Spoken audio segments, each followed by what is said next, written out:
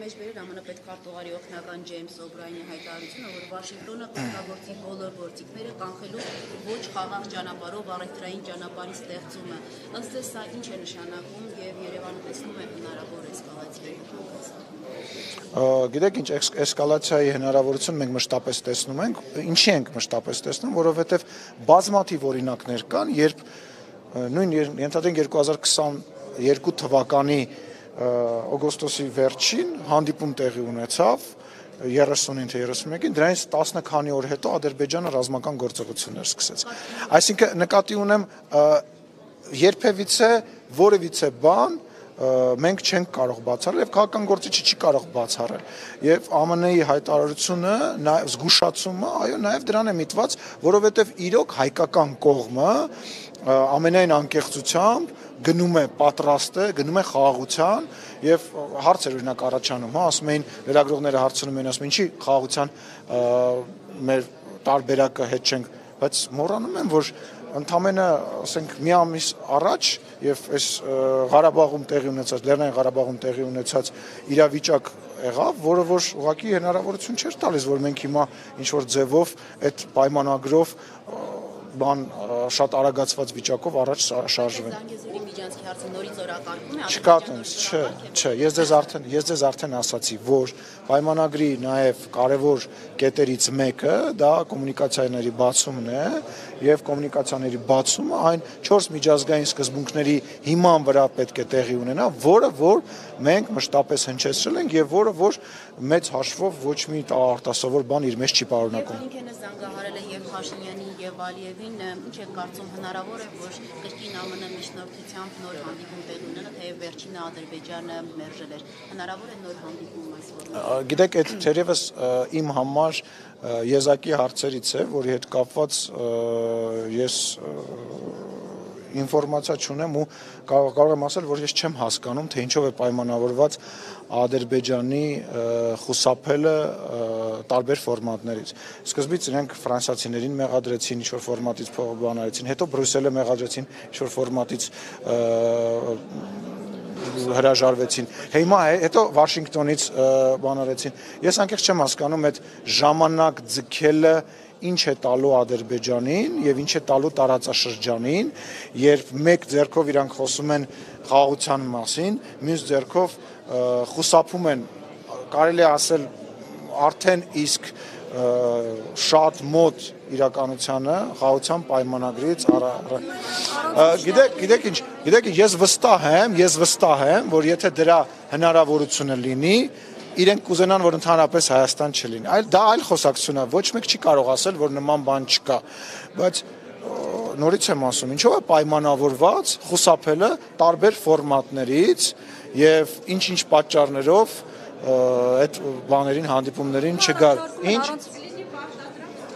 Դե պարտադրանքը որպես դե տեսեք, դե տեսեք, հիմա ակնհայտ է, չէ, որ Հայաստանը իր համար արդեն գծել է կարմիր գիծ, դա օրինակ 29800 քառակուսի կիլոմետրն է։ Հա, չէ, ինչ աշխատում չկա,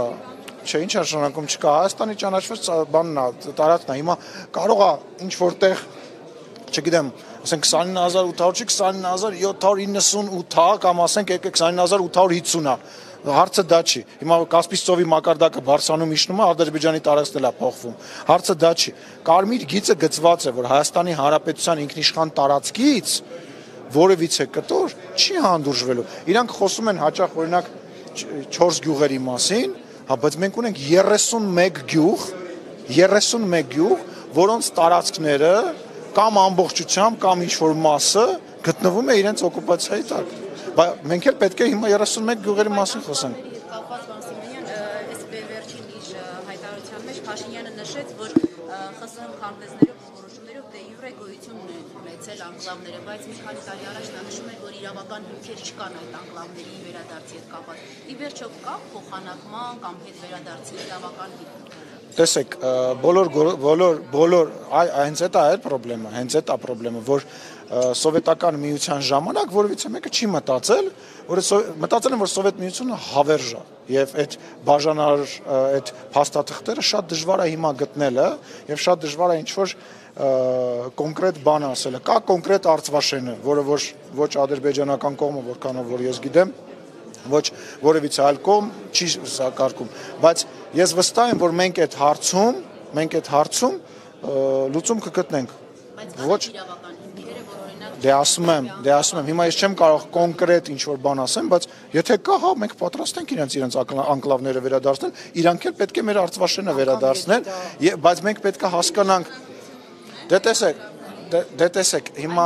հիմա հիմա մի հիմա մի հիմա մի բերեք, ճիշտ եք ասում, հիմա մի բերեք վերջնականացրեք ես չեմ բացառում, որ մենք ինչ որ ձևով լուծում կգտնենք, որ օրինակ, այն ինչ որ գտնվում է սահմանից այս կողմ կմնա այստեղ, այն ինչ որ գտնում է սահմանից այն կողմ կմնա այն կողմ։ Օրինակ Արցախաշեն իր տարածքով շատ ավելի մեծ է, քան 2-3 անկլավը, որի մասին Ադրբեջանը կարող է խոսել։ Ասում եմ, դրա համար մենք հիմա մտնում ենք դետալների մեջ, ես ձեզ հիմնական սկզբունքները, հիմա նույնիսկ չգիտեմ ճիշտ է որ ասում եմ այսքանը թե չէ, բայց հիմնական սկզբունքները ես ձեզ բացում եմ, ասում եմ։ Իրական այդ ճանապարհները, որոնք անվտանգ վերջո անվտանգության հարց է առաջ գալիս։ Տեսեք, մենք ուզում ենք, մենք մենք խաղաղության մեջ ուզում ենք ապրենք, թե ձև ուզում ենք ձև անենք, որ խաղաղությունը խաղաղության մեջ ենք ապրում։ Եթե խաղաղությունն է Վրաստանի բնակիչը Վարսկաստանի բնակիչը չի մտածում Հայաստանի տարածքով անցնելուց։ Հայաստանի Հանրապետությունը ի վիճակի է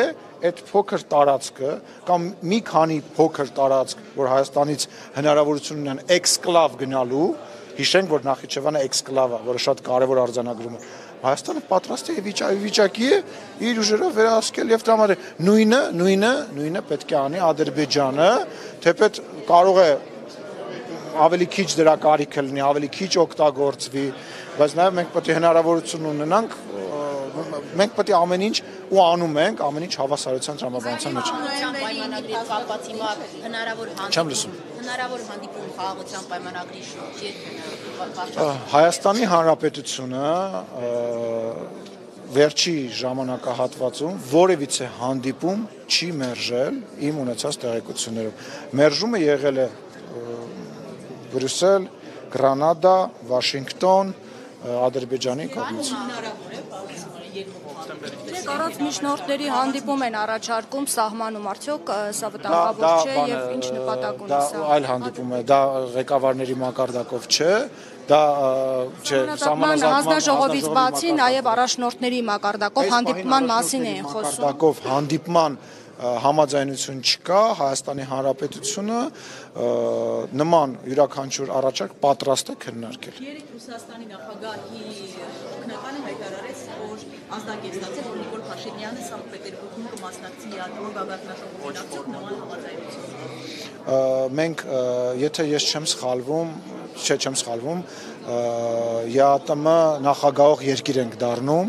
եւ անձամբ ես չգիտեմ որոշում այս պահին չկա, բայց անձամբ ես կարծում եմ, որ նախագահությունը ստանձնելու համար ԵԱՏՄ-ում Հայաստանը պետք է մասնակցի, որովհետեւ մենք այդ կառույցի, մենք այդ կառույցի նախագահությունն ենք ստանձնում եւ դա տնտեսական առումով մեր հիմա այս պայդրությամբ մեր տնտեսական միջավայրն է նաեւ ապահովում։